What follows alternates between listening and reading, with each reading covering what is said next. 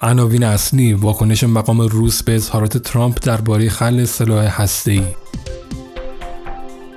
اسکندر پاتریوت آمریکایی را نابود کرد. اوکراین حمله به پایگاه هوایی روسیه در قفقاز شمالی را تایید کرد.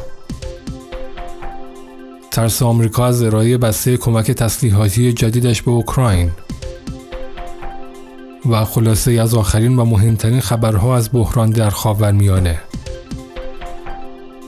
سلام و درود خدمت همه شما همراهان گرامی. به سرویس خبری این ساعت خوش آمدید. سرگی ریابکوف معاون وزیر امور خارجه روسیه در سخنانی اظهارات دونالد ترامپ رئیس جمهور پیشین آمریکا درباره خل سلاح هسته‌ای را تکذیب کرد. ریابکوف اعلام کرد اظهارات ترامپ مبنی بر اینکه روسیه، آمریکا و چین در دوره ریاست جمهوری وی در یک قدمی توافق در خصوص خلع سلاح هسته‌ای کامل بودن نادرست است. او اضافه کرد نشست جدید کشورهای پنجگانه هسته‌ای در آینده نزدیک در نیویورک برگزار خواهد شد. او ادامه داد در حال حاضر حتی یک بنیان هم برای گفتگو با ایالات متحده در خصوص سرنوشت پیمان استارت وجود ندارد.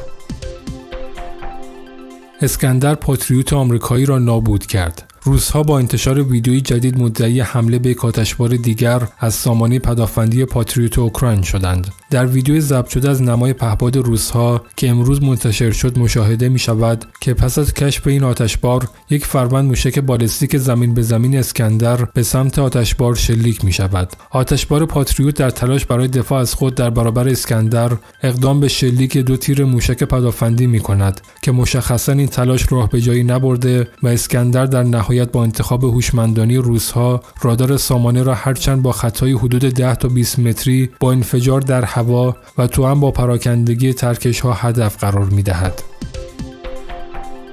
اوکراین حمله به پایگاه هوایی روسیه در قفقاز شمالی را تایید کرد. صداد کل اوکراین تایید کرد که نیروهای اوکراینی حمله موفقیت آمیزی را علیه فرودگاه نظامی خانسکایای روسیه در جمهوری آدیکه انجام دادند این تایید اندکی پس از آن صورت می‌گیرد که مقامات جمهوری آدیگه از حمله هواپیمای بدون سرنشین به این منطقه خبر دادند. یک منبع در سرویس امنیت اوکراین SBU گفت در طول این حمله 57 هواپیمای جنگی، هواپیمای آموزشی و بالگر در این فرودگاه مستقر بودند. این شامل جدهای سخو 34 سخو 35 سخو 27 و بالگردهای امای 8 بود. میزان خسارات وارده به هواپیما در آدیگه مشخص نیست. به گفته صداد کل اوکراین در این حمله به کنبار مهمات آسیب وارد شده که منجر به آتش سوزی در این منطقه شد که در تصاویر منتشر شده در شبکه های اجتماعی نیز قابل مشاهده است.